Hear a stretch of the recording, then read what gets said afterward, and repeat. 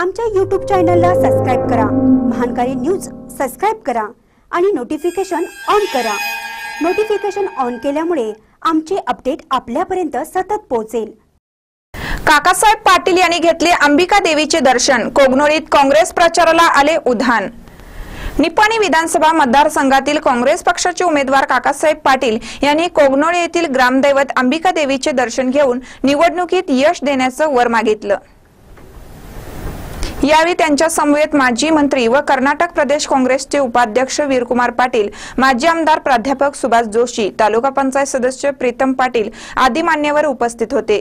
यावेळी स्वागत करून प्रास्ताविकात माजी जिल्हा पंचायत उपाध्यक्ष पंकज पाटील म्हणाले कोगनोळ येथे प्रचार सुरू झाला आहे. प्रचाराला मोठा प्रतिसाद मिळत असून काकासाहेब पाटील हे निवडून येणार आहेत. गावातील घरोघरी जाऊन प्रचार सुरू झाला आहे. नागरिकांच्यासह महिला मोठ्या उत्साहाने प्रचारामध्ये भाग घेत आहेत.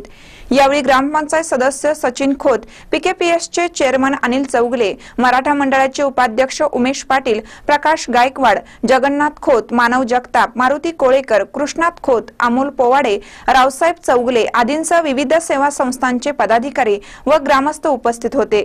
माजी तालुका पंचायत सदस्य बाळासाहेब कागले यांनी आभार मानले. महानकर न्यूजसाठी कोगनोळ येऊन अनिल पाटील.